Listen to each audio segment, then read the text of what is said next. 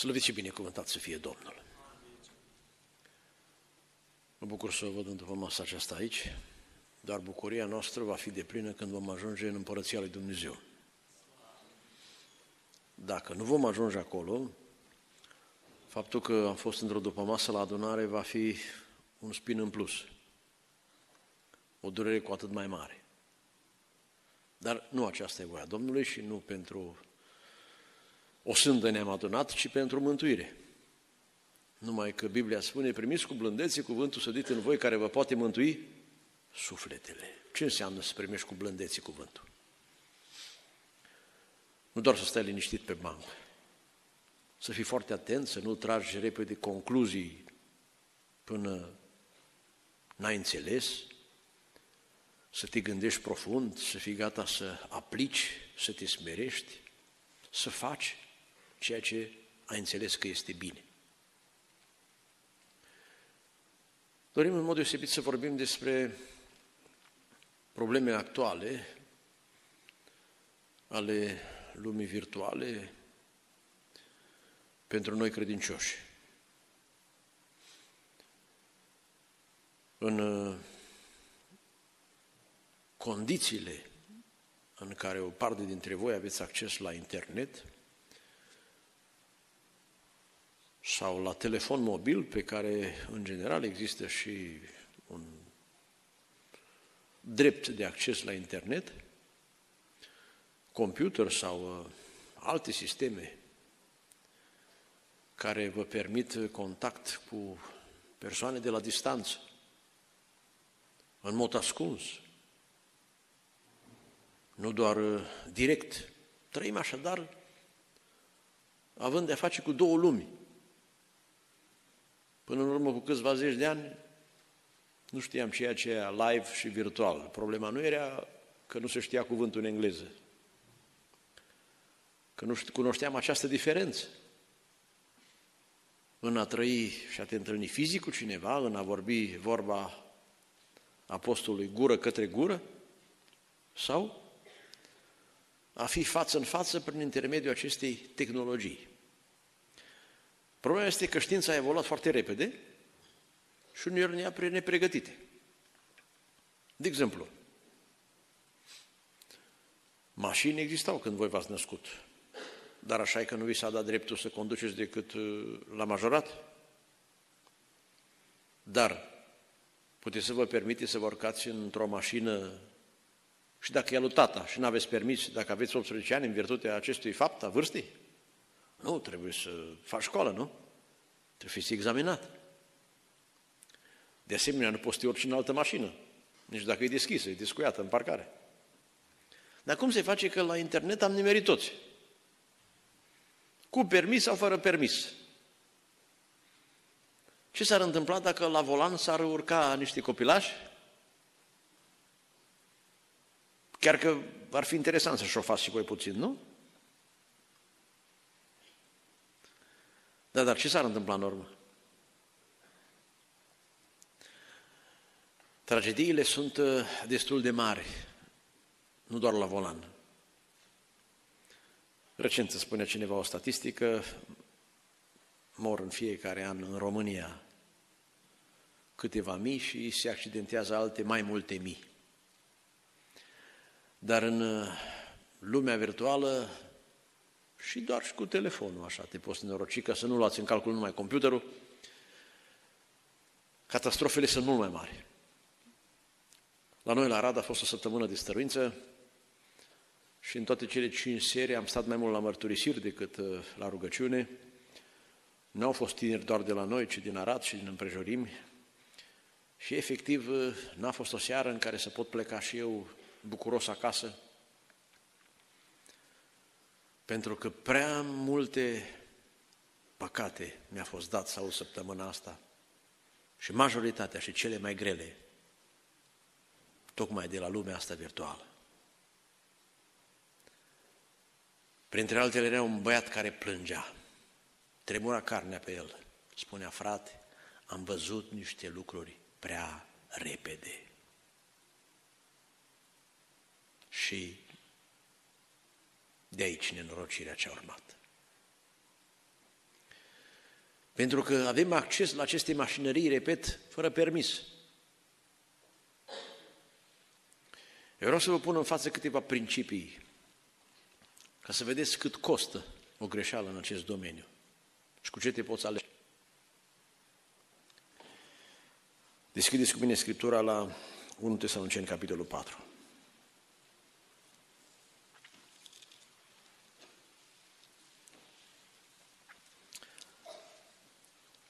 Citeți la versetul 3.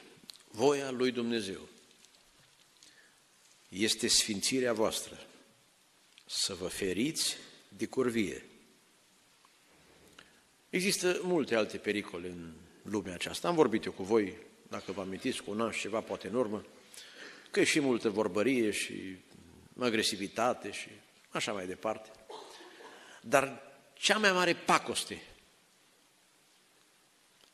e legată de imoralitate. Și potrivit Bibliei, ca limbaj, curvia se referă la perioada înainte de căsătorie, prea curvia la ceea ce se întâmplă după aceea. Fiecare din voi, scrie versetul următor, să știe să stăpânească vasul, și aici referirea este la trup, și în primul rând, în sfințenie. Dacă nu ești atent și faci greșeli folosind această tehnologie, primul lucru care se pierde este sfințenia. Este noțiunea de căpătâi în univers. Știți cum se strigă în cer? Sfânt, sfânt, sfânt este Domnul oștirilor. Sfințenia este podoaba casei lui Dumnezeu pentru tot timpul cât vor ținea vremurile. Sfințenie înseamnă a te păstra pentru Dumnezeu, a te păstra curat, nepătat, Domnul Hristos spunea că nu doar uh, murdăria fizică este cea care ne vicează. Amintiți-vă de cuvintele spuse Domnul Matei 5. Oricine se uită, a și comis păcat. Pentru că sfințenia se pierde mai întâi la nivelul minții. Iar mintea este afectată de regulă fie prin privire, fie prin vorbire. Sunt cele două mari căi de acces în reședința minții noastre.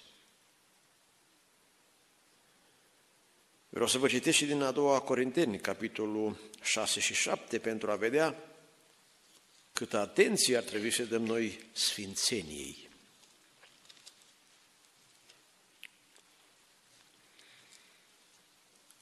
Versetul 16, 2 Corinteni 6 cu 16. Cum se pacă templul lui Dumnezeu cu idolii? Căci noi suntem templul Dumnezeului celui viu, vă rog, rețineți ce valoare, ce statut avem, ce menire. Eu voi locui și voi umbla în mijlocul lor, voi fi Dumnezeul lor și ei vor poporul meu. De aceea ieșiți din mijlocul lor. Și Pavel explică în 1 Corinteni 5 că aici nu înseamnă să nu mai mergeți la școală sau la servici. Altceva. Nu vă atingeți de ce este necurat. Asta înseamnă ieșiți. Eu voi voi fi tată și voi îmbesi fi și fiice ce Domnul cel Atotputernic. Deci, fiindcă avem astfel de făgăduințe, care e făgăduința? Făgăduințele. Că sunt un pachet. Să fim cu Dumnezeu, El să fie Dumnezeu nostru, să fie Tatăl nostru, noi să fim copiii Lui. Dumnezeu locuiește locuri înalte și în sfințenie. Și sfințenia asta trebuie să fim noi, cu trupurile noastre. Prea iubiților, să ne curățim de orice întinăciune a cărnii și a Duhului și să ne ducem sfințirea până la capăt în frică de Dumnezeu.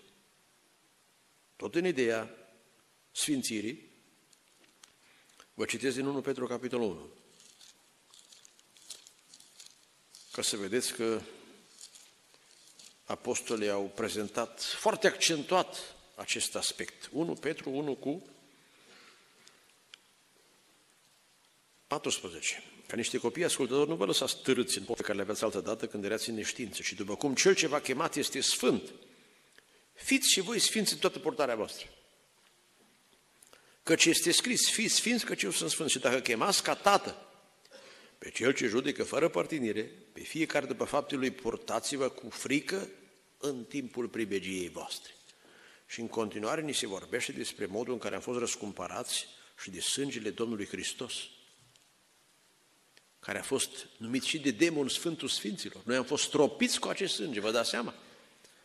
La cort în Vechiul Testament și respectiv la templu, obiectele sfințite erau stropite cu sânge și dedicate și nu mai puteau fi folosite la altceva. Nu mai avem un asemenea templu. Scândurile de la balcon nu sfinte. Noi, cu ființa noastră, am devenit templu, obiecte sacre de cult pentru Dumnezeu. Și în mod special această sfințenie trebuie să se evidențieze și poate fi trăită la parametri maxim în tinerețe. 1 Corinteni, capitolul 7.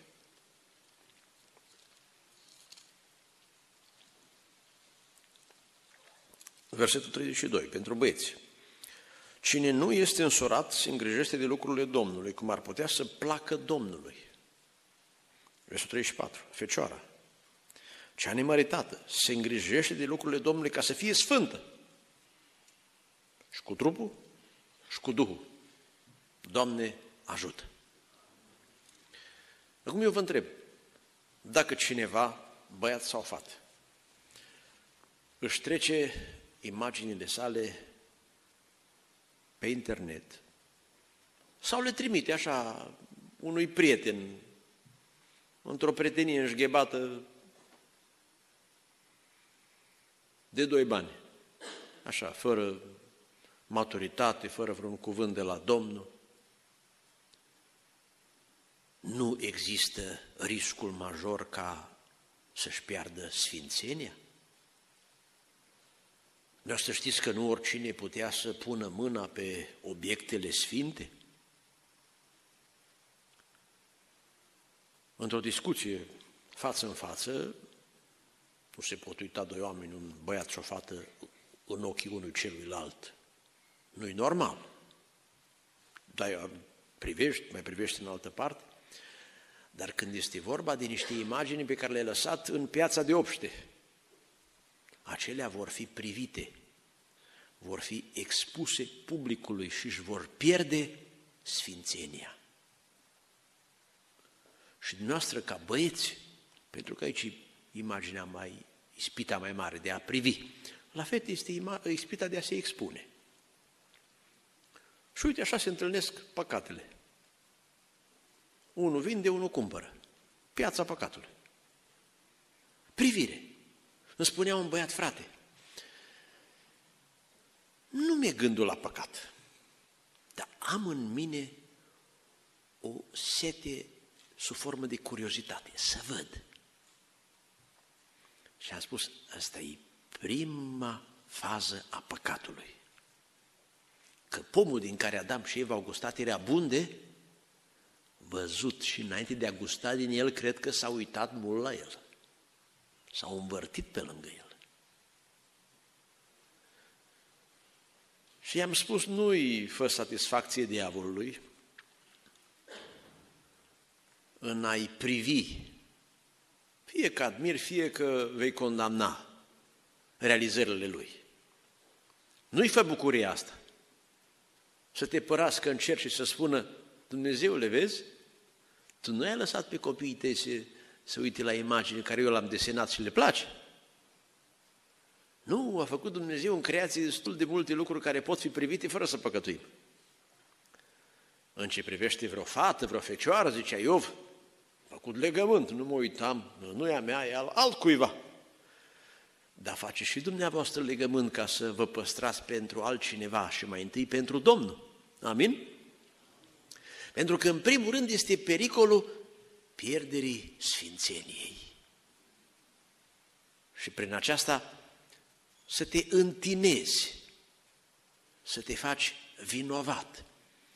Fiecare fată trebuie să-și imagineze că ea în lumea aceasta este o imagine a lui Dumnezeu. Dumnezeu a creat parte bărbătească și parte femeiască. Este un simbol al templului sfânt. Și atunci când poate fi privită altfel, este o întinare. Și sub acest aspect vă recomand să umblați cât mai îmbrăcate. Ascultați-mă acum iarna. Acum ar trebui să vă ajute și frigul să vă echipați cum trebuie. Că și pe la vară rămâneți tot așa, că omul înțelept își face iarna car. Gândiți acum cum să aveți niște haine ca să fiți acoperite bine și la vară. Iar cât despre voi, despre băieți, vă rog gândiți-vă că voi sunteți cu atât mai mult o imagine a lui Dumnezeu. Și nu permiteți ca să intre în ființa voastră prin privire, prin a citi, ceea ce v-ar putea desacraliza, ceea ce ar face ca să intre în templu lucruri murdare. Sau în mintea dumneavoastră nu rămân imaginile rele.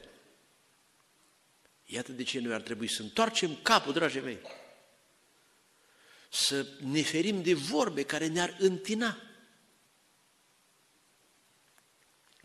Pentru că vrând, nevrând, dacă nu pe stradă, nu acum iarna la vară, sau ajungi undeva, e pornit un televizor, undeva intri într-un atelier, este o imagine murdară, tot ceva e un pericol. În momentul acela, imediat, trage perdeaua. Tu trebuie să trăiești într-un regim de protecție, să-ți asiguri o siguranță ca să-ți păstrezi sfințenia. Și în mintea ta să nu fie apoi rulări de astfel de scene, cei care au fost în lume sau care s-au murdărit. Când vin și vorbesc cu noi, ne spun, frate, așa supărăre am noaptea, visez urât, imagini, murdare. Seara mă rog, dimineața mă rog. Și între aceste două rugăciuni, când eu vreau să fiu cu Domnul, vezi, ți-au rămas în subconștient și până le mături pe toate trebuie să vină multă apă a cuvântului până să se șteargă. Dar care n-ați cunoscut aceste adâncime ale satanei, nu vă dați seama ce har aveți ca să puteți să vă păstrați mintea liniștită, sacră. Ce înseamnă să se poți gândi la Domnul? Să ai libertate când te poți ruga, atunci când citești în Biblie, să nu te mustre conștiința, să fii liniștit. Dar pentru asta trebuie să știi să te ferești de aceste întinăciuni, să știi să stăpânești vasul. Dumnezeu să vă ajute. Și când colegii voștri vă vor provoca de școală, de servici, spuneți-le deschis. Cu cuvintele ce Domnul vi le va da. Duhul Sfânt este scris că în asemenea momente critice ne călăuzește. Nu-mi permit. Eu aparțin lui Dumnezeu. Mintea mea nu-i pentru așa ceva. Ochii mei nu-s destinați la așa ceva. Eu sunt creat după chipul și asemănarea lui Dumnezeu. Eu îi aparțin lui. Fetele trebuie să gândească, eu am logodnicul meu. Cu referire la Domnul Isus, băieții, eu mă pregătesc, eu uh, sunt un preot al Dumnezeului celui viu. Știți că preoții n-aveau voie să tindă nici de un mort, nici dacă era din familia lor, mai cu seamă marele preot. În a te feri de tot ceea ce este murdar. Dumnezeu să vă ajute. Asta înseamnă să tai toate filmele de pe listă. Dacă trebuie să vezi ceva ce este de factură documentară, și aici trebuie să faci selecție. Că se mai întâmplă în vremea noastră. Tu vrei să înveți ceva tehnic, dar nu știu cum se face că imaginea trebuie să fie însoțită de mizerie. Și aici trebuie să fii atent atunci. Dar dacă e vorba de filme creștine, că e comedie, că știu eu ce altceva, astea te desacralizează, îți pierzi sfințenia. Ce a zice dumneavoastră, spun în încheierea acestei idei, dacă aici pe perete nu avea noi imagini cu Vlad Țepeș, cu nu știu ce sportivi. Frate, aici e biserică. Nu, aici e biserică. Asta e clădirea adunării, biserica e aici. Și când nu sunt pentru Domnul dedicat și nu pot gândi liber, v-am spus, verificați-vă la rugăciune. În cursul zilei puteți medita Spunea aseară o tânără, frate, când mă pun să mă rog, nu pot să intru în intimitate cu Dumnezeu. Foarte greu reușesc să mă cuplez, să mă conectez. Și am întrebat-o, dar cu meditația zilnică, tu cum stai? Păi nu, că în minte mă gândesc la una, la alta, la... Atâtea întreg prin cap, păi vezi? Tu vrei dintr-o dată să te aduni de la capătul pământului și să intri în sanctuar.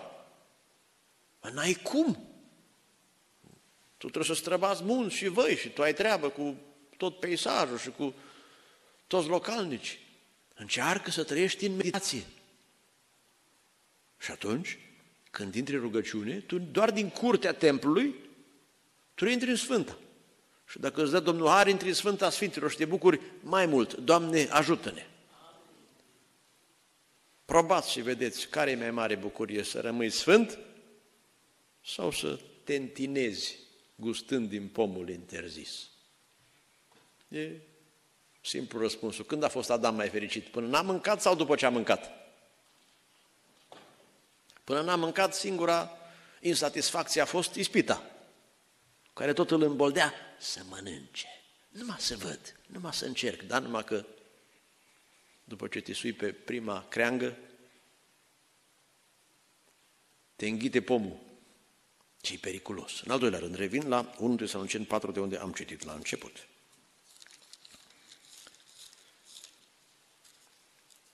Apostolul Pavel continuă, versetul 4, fiecare din voi să știe să stăpânească vasul în sfinție, și asta v-am spus, care de face cu relația dintre noi și Dumnezeu.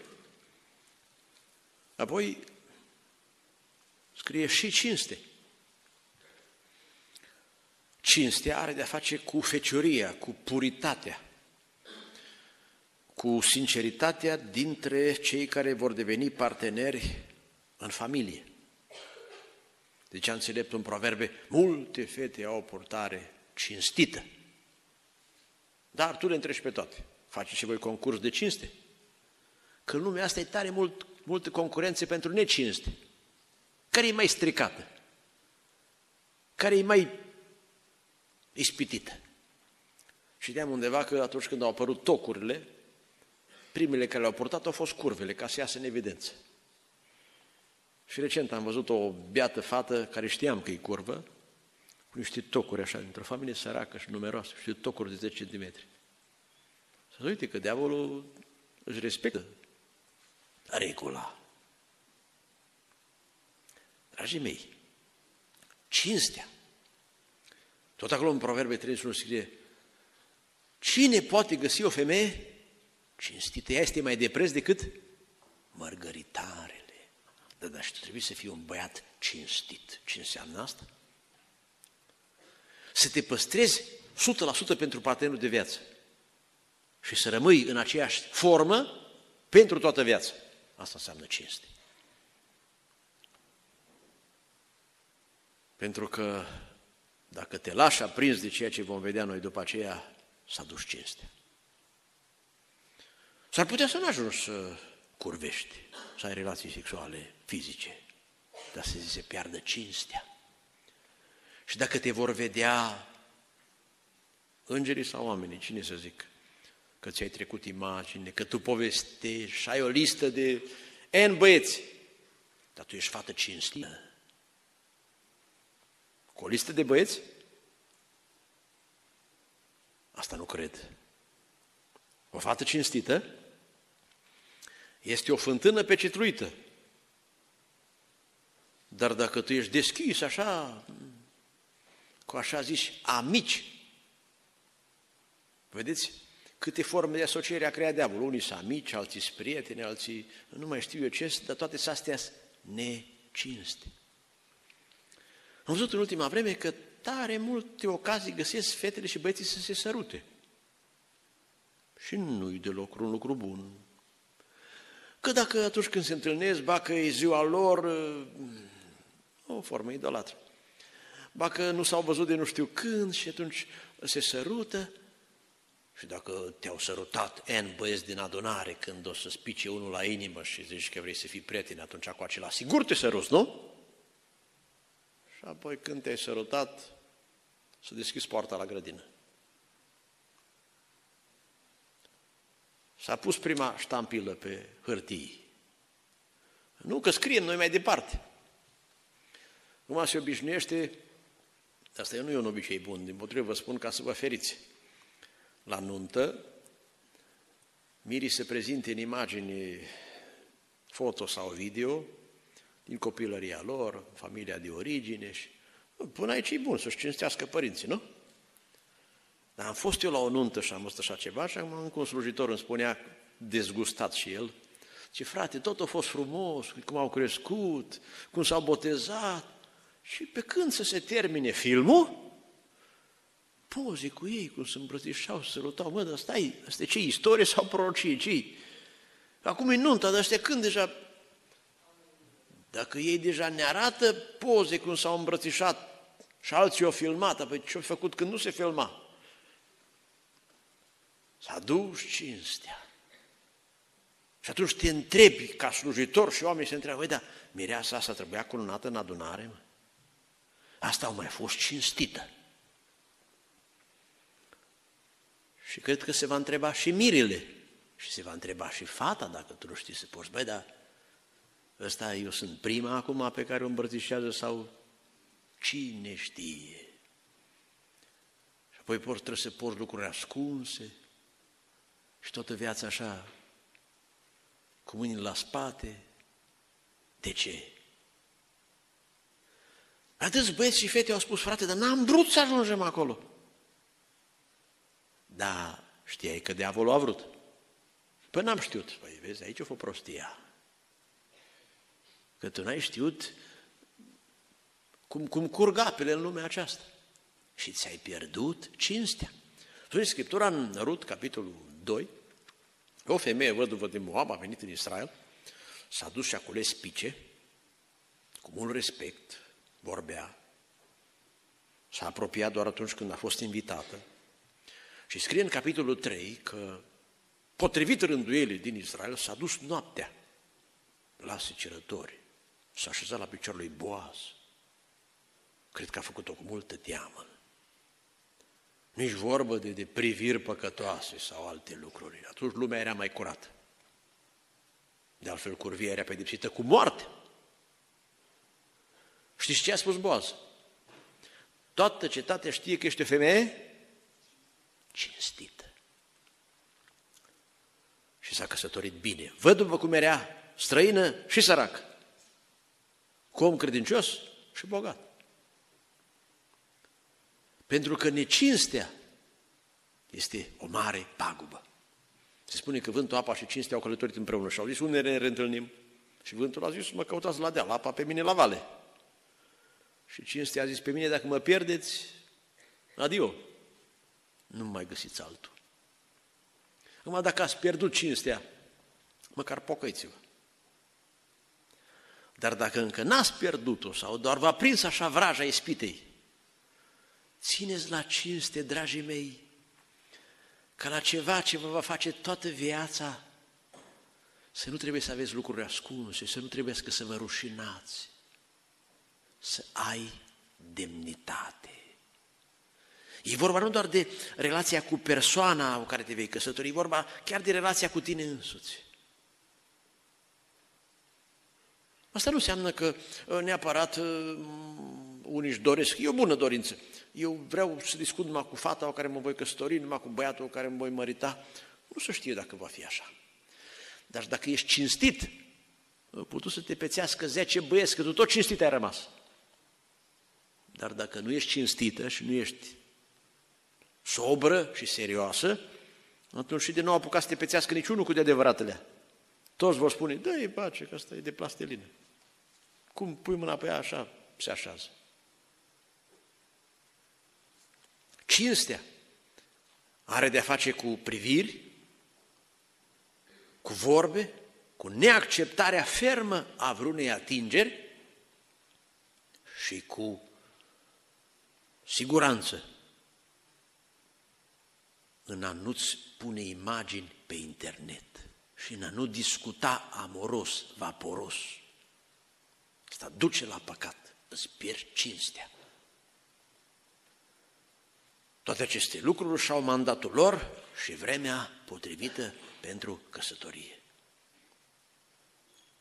Scriptura spune, cinstiți pe toți oamenii. Și a David în Psalmul 15, de unii vreți de disprețuit. Îți vei putea păstra cinste? Știi că urmea să fii părinte. Și este o primă poruncă pentru copiii care Dumnezeu da, să cinstești pe tatăl tău și pe mama ta, dacă tu n-ai fost cinstit. Când vor afla copiii tăi, știi că le va fi greu să te cinstească? Și va trebui să te zmerești. Că nu vei putea să ai cinste de plin nici din partea celor care s-ar cuveni în primul rând să ți-o dea. Vă angajați să faceți un legământ de cinste. Numai dacă vreți.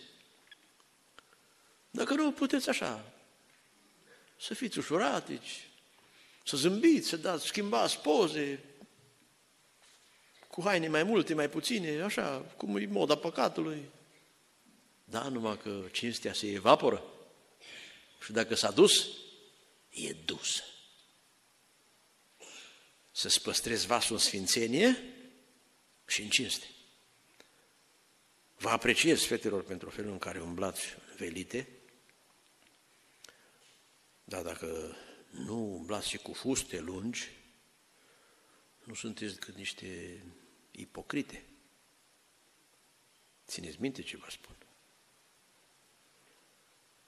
Acoperit pe cap și descoperit pe picioare înseamnă că nu-i pătura pe măsură. Băieților, am văzut în ultima vreme tot mai mulți își necinstesc singur trupurile. Ba că nu le place cum arată și merg să facă sală, băieți, fete, tatuaje. Apoi să nu mai zic de pensat și de câte toate, că zici că Dumnezeu nu știut că oamenii transpiră și că pe unde să crească părți, pe unde să nu crească. Mai. E, mai recent văd că și băieții se pensează sarmani. Își necinstesc singur trupurile.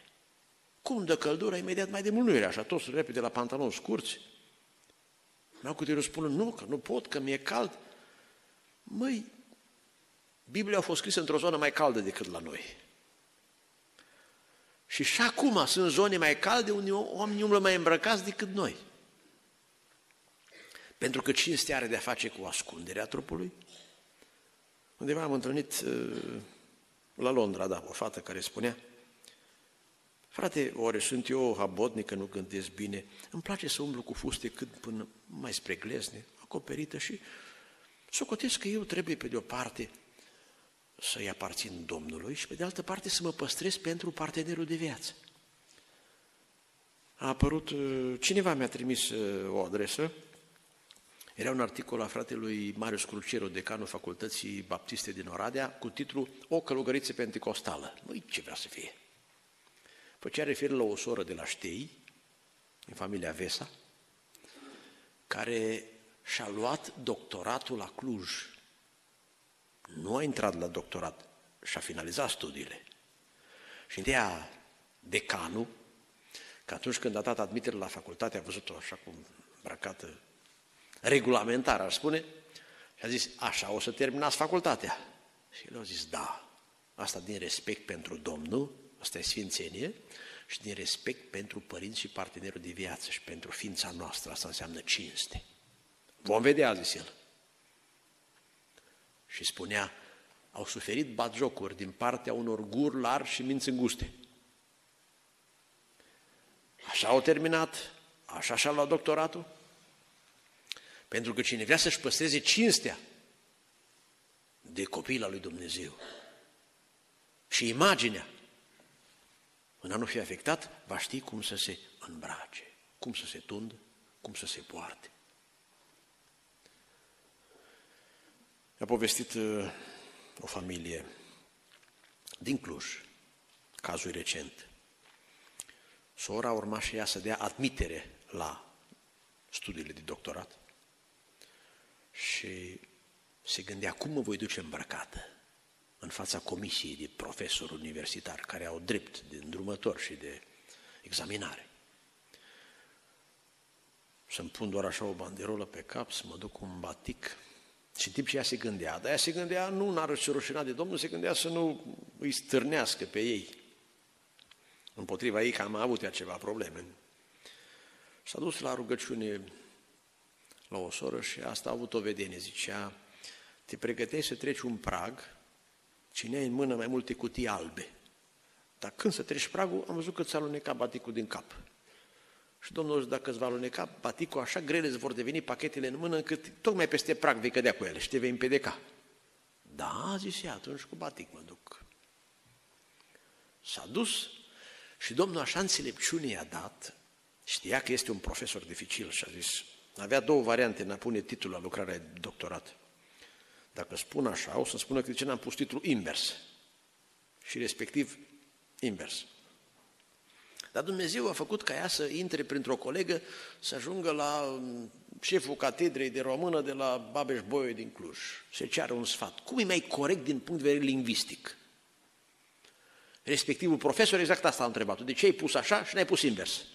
Și aici am vorbit cu domnul profesor cu tare. El a tăcut și mi-a vrut să mai mare peste ei. A făcut ea o analiză a criticii muzicale în ultimii ani și un altul zice, dar cum va fluctua, cum va evolua graful în continuare? Va fi un trend ascendent sau descendent?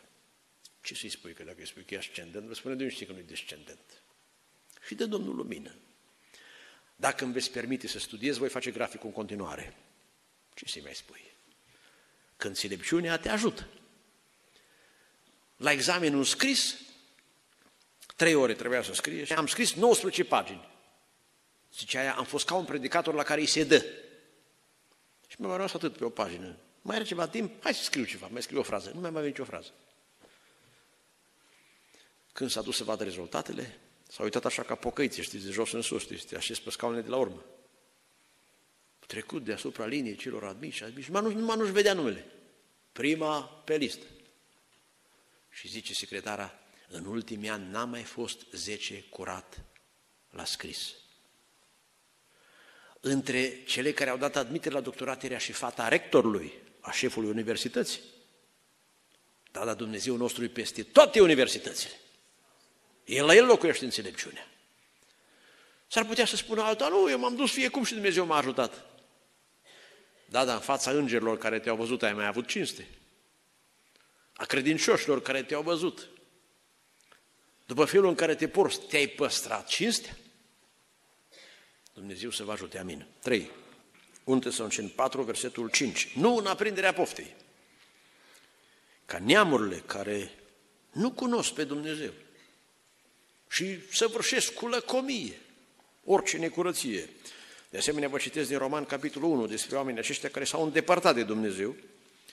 Și un om îndepărtat de Dumnezeu îi scade capacitatea în duc și rămâne doar cu funcții în trup.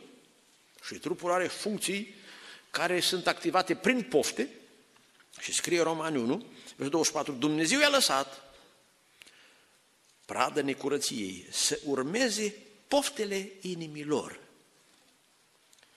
Același capitol, versetul 27, tot astfel și bărbații au părăsit tribuțarea firească a femeii, s-au prins în poftele lor. Pentru că și curvia și homosexualitatea, toate funcționează prin pofte prin aprinderea necontrolată, nelegitimă a poftelor. Veți putea să vă păstrați vasul fără să vi se aprindă poftele? Proverbe, capitolul 6.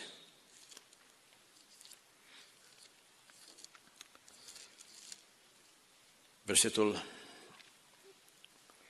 25. Nu pofti în inima ta pentru frumusețea ei. Băieți, puteți să vă uitați la o fată frumoasă și să nu poftiți. Câte minute rezistați? Ca să nu mai spun dacă mai clipește și din ochi.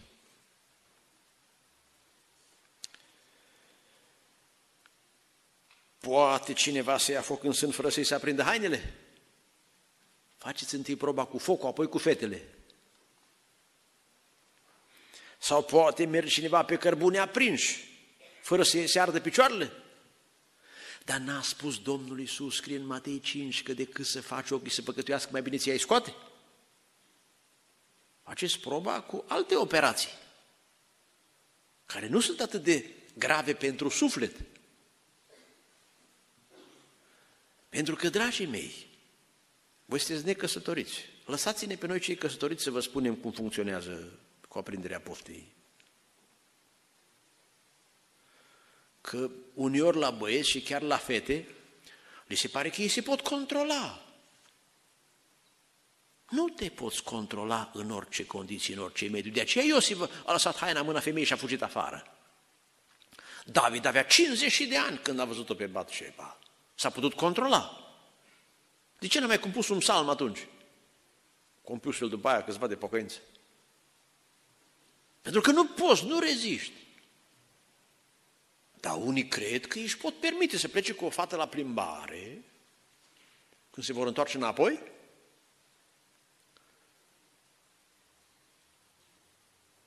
vin cu poftele aprinse.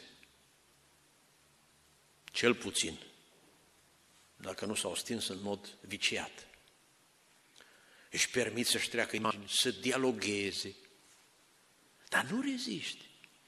Nici dacă e vorba de băiatul care te căsătorești, nu te aprinde în discuții, pentru că te încălzești înainte de vreme. Mai nu punem oala pe foc acum și facem ciorba apoi mâine. Când ai pus-o la foc, ai trebuie să fii gata de mâncat. Altfel, ce te faci? Spunea o fată, frate, dar noi nu ne-am luat angajament că nu ne sărutăm pe buze, dar așa, pe mâini, știu eu. Și a spus, măi, fii atentă că băieții se aprind, la care ea sinceră, știți? Dar drept să vă spun că și eu era să mă aprind. Păi normal că ești tu din carne și oase și dacă e vorba de iubire, că dacă ar fi de vorba de doi care nu se iubesc, la ăștia nu trebuie să le dau grijă. Că ăștia poate să uite urât unul la altul. Dacă e vorba de doi care au sentimente, Păi ți se pare că este zâna zânelor și numai puțin să, să, să o atingi. Auzi, vezi că nu-i, nu uscat desenul și îl măzgălești. Lasă termine tabloul, lasă-i face în ramă și apoi du și pun la tine acasă. Și apoi cum scrie în Cartea Cântarea Cântărilor, asta este o, o frumusețe, să te poți păstra până la nuntă, spune aici, citesc din uh, capitolul 4, versetul 12, este o grădină închisă, soro mireasă, un izvor închis, o fântână pecetruită. Versetul 15, o fântână în grădină, un izvor de ape vii ce curge din Liban. Și acum, după ce te căsătorești, scoală-te, crivățule, vino vântule de mi-a zis, suflați peste grădina mea, ca să picure mirosurile din ea, să intre prea iubitul meu în grădina lui și să mănânce din roadele ei alese. Vine vremea când poate să intre în grădină și să ia toate și să le guste. Dar până atunci, vă place așa să se bage mâna prin gar, nu? Și pe când o să te căsătorești să spună, tu ești o fată cinstită, nu ai avut probleme, știi, crengile astea mi-au fost tare spre, spre marginea grădinii. Ascultă-mă, ți se aprind poftele și ai probleme, dar sunt tineri care spun că nu poți de fapt să te controlezi, n-ai cum să nu te masturbezi, frate. Păi n-ai cum dacă tu umbli așa prin mlăștini. N-ai cum să nu te murdărești pe picioare. Dar ea umblă pe pietre, să vezi. Chiar nu este nicio potecă pentru tine. Frate, dar un film, dar... Na, adică un păcat și apoi probleme. Dumnezeu să vă ajute să vă puteți păstra. Și când veți spune toate regulile astea la rând, îți închizi sau nu îți închizi contul de pe Facebook? Lasă-l ca să se aprindă poftele. Și apoi când o să ai de face cu vreascurile și cu cenușa, să spui, frate, n-am priceput. Cum scrie în proverbe, cum am nenorocit eu în mijlocul adunării. Și pe câți băieți am provocat eu, dar unele fete nu înțeleg asta. Lor li se pare că dacă băieții spun, fi liniștită că eu n-am probleme, numai exerciții. Dragii mei, nu-i normal. Dar mai sunt și părinți naivi care îi cresc, parcă ei nu-și amintesc cum funcționează trupul uman. O fată merge la un păstor și îi spune, era joi seara, frate, sâmbătă vreau să veniți la noi la Logodnă. Cum așa? Trebuie să discutăm înainte. Nu vine o sâmbătă la voi la Logodnă, veniți voi luni la mine la comitet. Dar noi am programat, s-au programat voi, ce nu cu voi? Mă pui în fața unui fapt împlinit. El a vrut să se intereseze că băiatul nu era din țară. După ce a avut toate datele la dosar, vine și îl întreabă pe el, auzi, tu te-ai ținut de pocăință? Dar știi, frate, la unde am stat eu nu era adunare. Era numai la 100 km și eu am muncit mult, că am vrut să adun bani, să mă însor. Măi, da, în urmă cu un an s-a făcut adunarea acolo, sunteți voi, de ce nu te-ai dus? Păi drept că nu m-am dus, da? Motive se găsesc, nu?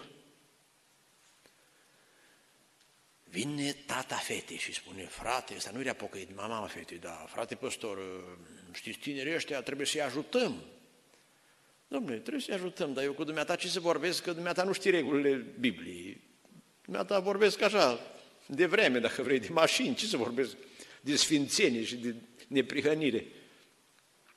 Vine mama fetei, dar frate, știi? Auzi, soră, faptul că ți-ai trimis bărbatul și n-ai venit tu înseamnă că ești prinsă și tu cu ceva. Nu, eu bag mâna în foc pentru ei. Poți să bași, nu mai scoți. Cum ai băgat-o? Dar dacă el a stat în Spania, ei cum și de unde se cunosc? Voi știi, fata în, tot, în ultimele doi ani în vacanță a stat toată vara acolo și se cunosc, frate. Dar unde o stat? Dar el știa că unde o stat. Apoi tot acolo în clădirea aceea, dar eu ba mâna foc pentru ei că ăștia nu, nu au pus mâna unul pe altul. Apoi, soră, dacă o stat șase luni în aceeași casă și nu au pus mâna unul pe altul, înseamnă că ăștia nu sunt de căsătorit, ăștia sunt de călugărit. Apoi, cum vorbești așa? Păi îți răspund și eu după nebunia dumneatale. Dacă așa mă iei, ca pe un, un om care nu-și dă seama ce se întâmplă între doi tineri. Firești, care se întâlnește și stau seara acolo. Ce o să fac? O să numere stele? Se aprind poftele, dragii mei. N-au cum să nu se aprindă. De aceea, dacă e nevoie să umblați pe internet și simți că deja se aprinde primul beculeț, urgent, ridică-te, cheamă pe cineva lângă tine.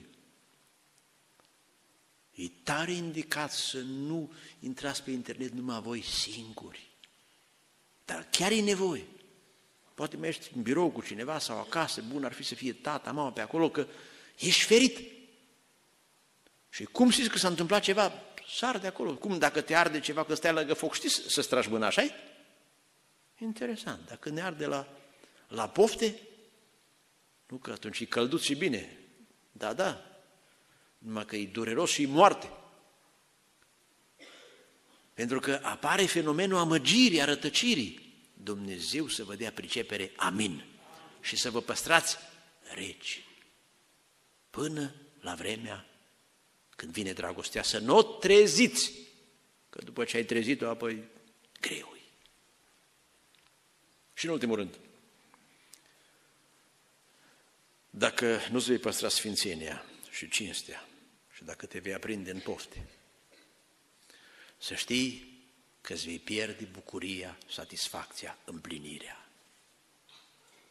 Exemplu, Solomon, altul mai puternic nu-i. El și-a permis. Și după ce s-a însorat, erau rânduiele, încă o femeie, încă o femeie și a avut de toate.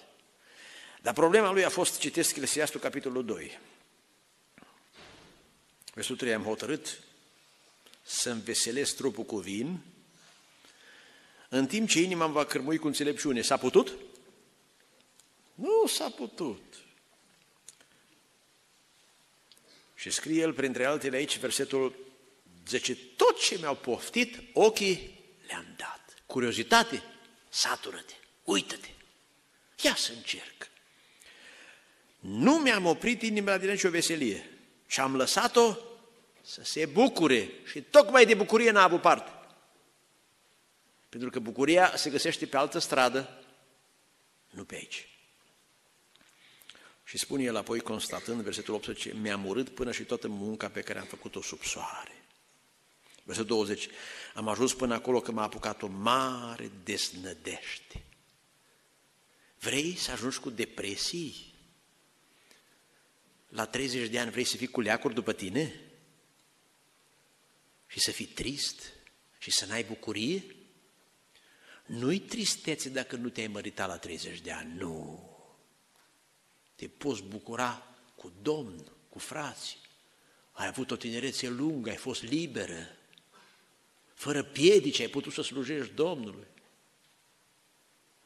Dar dacă te-ai murdărit și dacă te căsătorești, n-ai bucurie. Îți vei aminti, vor fi urmări, efecte, boli. Duhul vor perpetua în copiii tăi. S-a dus bucuria. Pe ce ai vândut-o? Pe plăcerea de moment.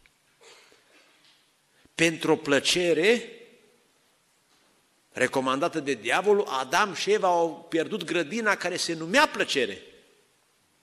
Asta e plăcerea care suprimă alte plăceri. Care nu te mai lasă să te bucuri în ziua anunții. Care atunci când se predică trebuie să crești capul jos. Atunci când se întâmplă o boală, în loc să zici Domnul va veni în ajutor, te gândești ca frații lui Iosif. Știi de unde ni se trage? Un frate căzuse victimă și a ajuns în spital și într-o noapte visează că a venit un înger așa în forma unui copilaș îmbrăcat în haine albe și îi zice cu deștul, știi de ce ești aici, da?